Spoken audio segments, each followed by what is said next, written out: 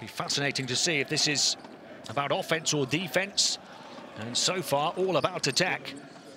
Gets it back from Alexander. Jacovan Brown, skip pass, out it comes. Cummings glances in off the glass. Fluid offense, as is so often the case from Hapoel, but using his right hand made it a more difficult shot. Simonovic trying to tame the bobbling ball, but down on the deck, Brown recovers it. Besiktas are a fighting, scrappy team. Hapoel, though, have perhaps more to fight for tonight. That's beautiful offense from the Israelis again. And we highlighted Jonah Mathews in the head-to-head, -head, but he's not come on off the bench yet.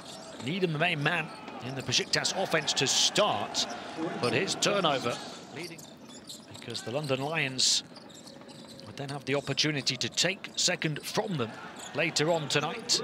If they lose here, Hapoel. Yeah, one shot interference, doesn't get it.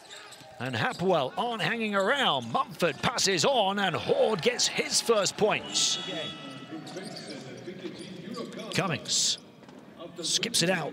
Jacovan Brown, corner, triple, and just like that, the lead is 11.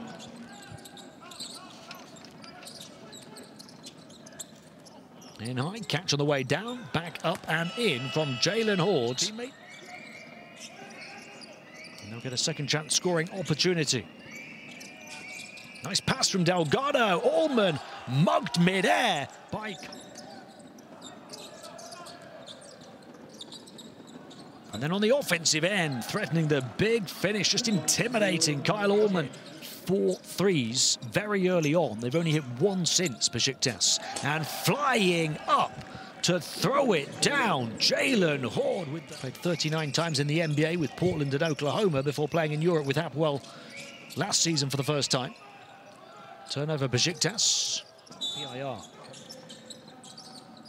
Three-point shot. Rolls around and drops for Bar Timor. And Hapoel are in the mood to finish this job. Gave up the three off the inbound before, this time deeper to Alexander. Jacovan Brown up high.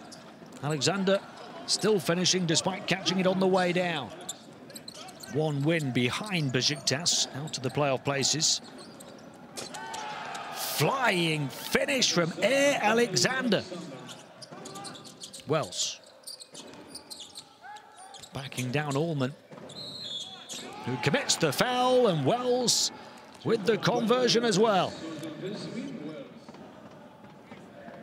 Such an offensive spread as there is